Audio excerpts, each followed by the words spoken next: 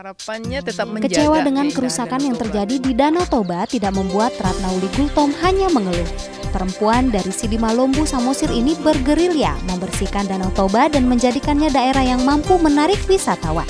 Ikuti juga segmen sekitar kita yang mengangkat tentang orang-orang yang pulang ke daerah untuk menyelamatkan Danau Toba.